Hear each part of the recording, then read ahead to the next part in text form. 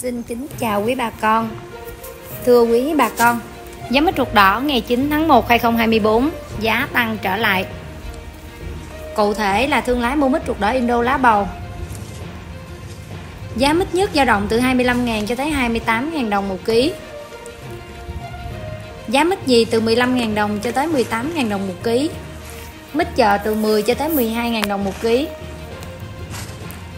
Cách phân loại mít ruột đỏ vẫn áp dụng như cũ.